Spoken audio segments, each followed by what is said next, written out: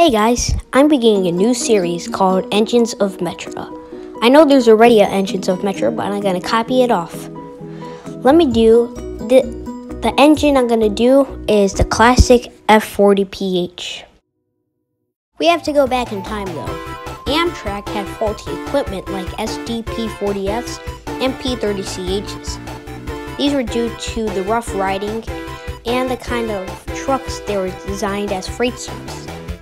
Amtrak then had to buy a replacement with many F40PH F40PHRs built with SD40, SDP40F parts until buying regular F40PHs, which were a success on Amtrak. On the other hand, though, Chicago's Metra had a few kind of good equipment with F40Cs and a few E units owned by them and by the Burlington Northern which are still in preservation today.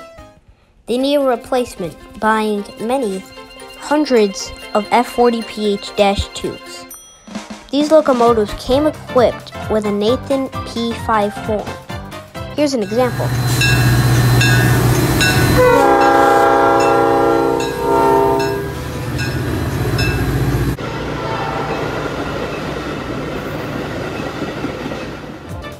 Even later, Metra bought even more F40PHs, now designated Dash 3.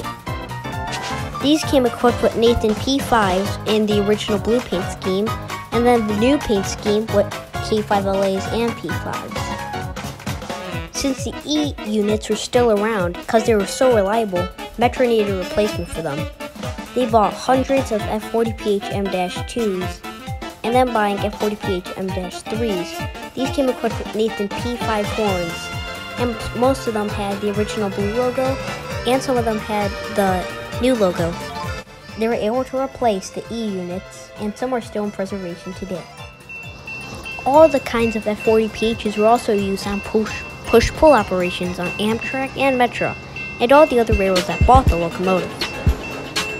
These would be used on uh, push pull operations using their cab cars that Metra had. Some units still have the blue paint scheme, but most of them now have the new Metra's new paint scheme. Well, it's something how these locom Metra has over 100 locomotives, and they still use them today, and almost one of the only railroads still at F40PH. Since Amtrak retired most of their F40PHs, but made them into non-power control units. That's the end of our video. Bye.